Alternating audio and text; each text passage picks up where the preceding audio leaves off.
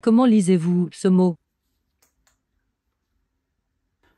Toujours dans la série pour eh bien, apprendre à lire L, est-ce qu'on doit prononcer le lem ou pas? Eh bien, la règle, donc, va, ça va être de regarder la lettre qui suit le lem. Ici, on a donc le ta.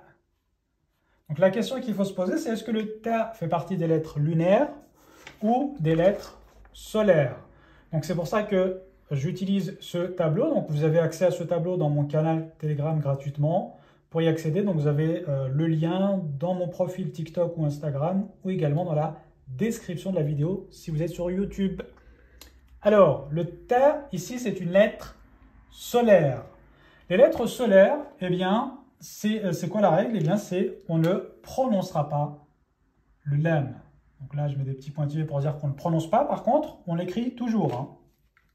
Donc, comme on enlève quelque chose, eh bien, on va rajouter quelque chose, donc c'est la shadda.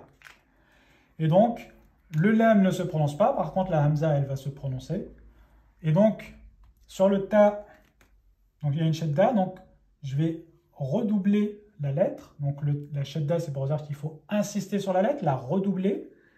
Et vous avez donc la voyelle i. Donc là, ça va se lire, donc on va du a directement au ta. Donc on va faire at ti, ati. On ne dit pas ati, parce qu'il y a une shedda, on fait ati, ati. Et ensuite, on va continuer. Donc là, vous avez le lam, donc c'est le L. Là, vous avez ici le mim, donc c'est le son du M en français. Ensuite, vous avez le vel. Alors, je vais mettre un, mettre un Z, mais voilà, il faut mettre la langue entre les dents pour prononcer. C'est vel et non euh, zel pour les voyelles, vous avez ici le i. Et ici, voilà, je l'ai mis en rouge, donc ça veut dire qu'il faut prolonger le i. Donc on va dire mi. Et là, vous avez la voyelle euh, ou, donc la damma qui est le ou.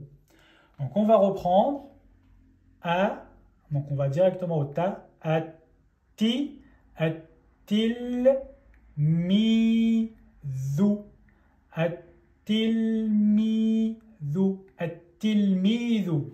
qui signifie donc l'élève. Pensez à vous abonner pour justement continuer d'apprendre sur elle.